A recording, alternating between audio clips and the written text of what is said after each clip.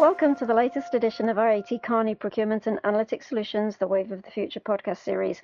I'm Helen Clegg and I'm joined today by John Piatek, a manager with AT Kearney based out of our Chicago office.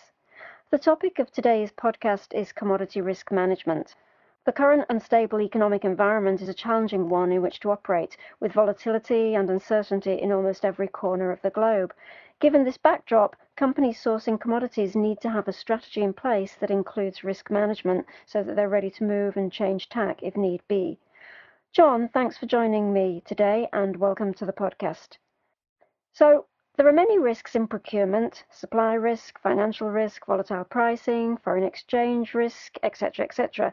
I want to talk with you specifically about commodity risk management, managing the risk of sourcing commodities from around the world. John, why is commodity risk management such a hot topic and why is it a focus area for business today? Thank you, Helen. We have all probably seen one of those line charts that seems to show us on a never ending cycle of commodity price increases. In reality, while prices are high, they are still in line with historic levels. However, the underlying volatility is an all-time high. Multiple forces are causing commodity price volatility to challenge, including speculators, changes to demand from emerging markets, increasing scarcity of resources, weather, and more. Our clients find that commodity risk can really impact bottom line, requiring a new focus on commodity risk management. So, John, how are companies investing in defining a commodities risk management strategy, and what problems are likely to occur if companies don't bother with such a strategy?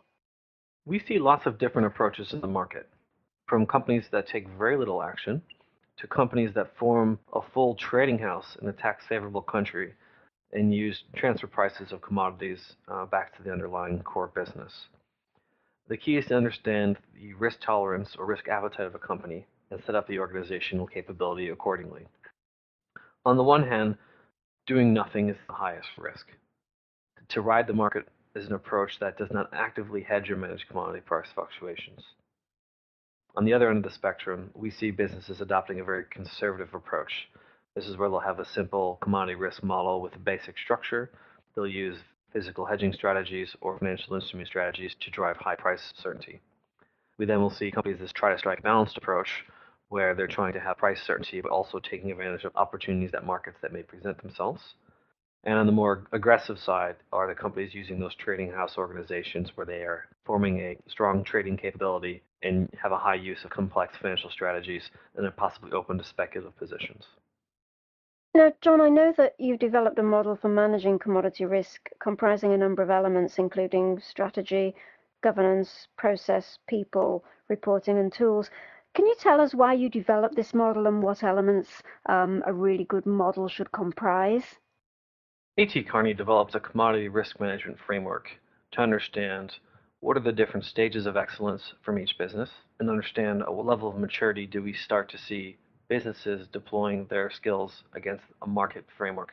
Uh, within this framework, you have different elements, such as the overlying strategy, the scope and risk tolerance and objectives, the governance and structure, process, people, and then the reporting and tools. And within each of these elements, we have some different components. Uh, if you consider first the scope, risk tolerance, and objective, this is where we're talking about understanding where commodity risk management will be deployed and how. The CRM strategy piece has to understand what the different strategies that business will be deploying, what thresholds or degrees of freedom they will give to the people in the business to deploy those strategies, and the method by which scenarios are evaluated. When we talk governance, we're referring to sort of the governance levels that are needed, the team compositions, the decision rights given to those teams, and then the meeting frequency by which they regroup. Uh, within the processes explains how the CRM activity is deployed, everything from roles and responsibilities to escalation mechanisms.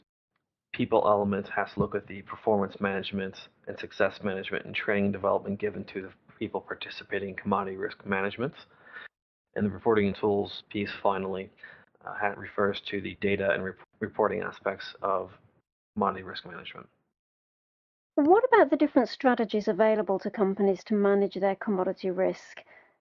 John, can you illustrate each strategy with an example? Yeah, there are four primary strategies any business has to mitigate the risk. The first is to transfer the risk to a supplier, in which we lock in prices with the supplier during a specific amount of time. Uh, we're using our purchasing power to require suppliers to share this risk. Or we are alternatively directing suppliers to take positions or hedge the risk on our behalf. The second strategy is to hedge the risk, which is a financial strategy. We can use financial instruments to take positions in the marketplace, and this is especially appropriate for liquid traded commodities. A third strategy is to deflect the risk. So we can pass cost increases to a customer or to a consumer in the form of higher prices. We can alternatively adjust specifications or supply sources to achieve that lower cost. Finally, we can operate the risk, which is a company strategy to stock up on inventory or to take higher upstream ownership possession, depending on the commodity in question.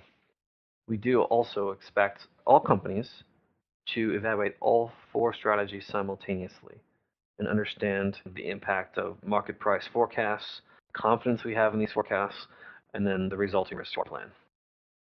So, how does a company work out which strategy is the most suitable for it to pursue? What information is needed to determine the most suitable strategy? There are two key questions to answer in order to understand what's the best strategy to deploy. The first one is Should we risk manage? We only have so much resources we can deploy to commodity risk management. We need to therefore prioritize our activity. We can look at the commodity spend, the overall commodity volatility, pockets of geographic specific volatility, and the overall margin impacts. and this will help us understand is it worth our time to do. Second question we should ask ourselves is can we risk manage? Certain markets are closed for risk management strategies when financial products may be unavailable, the supply market is unwilling to transfer the risk, there are no volume advantages, or we lack the specialized skills or knowledge that we don't have in house to execute the strategy. By answering the questions should we risk manage and can we risk manage, we know which strategies we should start to deploy. Okay, so it's all very well having a strategy in place, but what about when those types of disasters occur that no one can foresee? I'm thinking of the major market disruptions like the tsunami that happened a couple of years back in Japan. What happens then? Tell me about the special escalation process or black swan process that you've incorporated into the model. I was reading about that. Can you explain that a little bit more? A black swan process is a practice that we see leaders adopt as part of their overall commodity risk management programs. A black swan process, by definition, is one of those unpredictable market events that is fundamentally causes a disruption to the supply. This could be either a positive or a negative, in which there's an opportunity, a very narrow opportunity, to take a supply strategy to either mitigate a price increase or take advantage of uh, a supplier who's interested in sell. These are very rare situations where often the decision making is sort of paralyzed by the unexpected nature of this event. Where typically a business has an opportunity to take steps to secure supply or to, depending on the opportunity itself or the event itself rather, buy commodities at a more favorable rate. Often there's a very narrow window by which to operate. There's not enough time to run through a full process to engage all the stakeholders but without an agreement up front on how a black swan process will be managed, management will uh, be unaware of how to react, and more importantly, who should be taking these actions. We therefore see uh, leaders adopting black swan processes formally and, and embedding that into their overall management of the area. Okay, so basically every strategy for commodities risk management should have this black swan built in so that if there's a natural disaster or some uh, disruption to supply, for example, the uh, company can react very swiftly. Is that right? That's right, Helen. It's an aspect of governance, really, in the sense that in when these events are happening, there's not enough time to engage the full stakeholders to right. have the discussion, and instead we need to have someone nominated on behalf of this wider group to take action. Well, John, that leads me nicely into the next question because I wanted to talk to you a little bit more about governance and the role that governance plays in the model. So, how can a company best implement governance? You mentioned it as part of the framework, and I expect that it's quite important. Can you talk a little bit about that? Given the potential impact of commodity price increases, governance is really important, and there are four elements of a good governance system. One is the number of levels that exist. The second is the composition of the team members at each level. Third is the decision rights given to these teams. And then lastly, the meeting frequency by which they meet.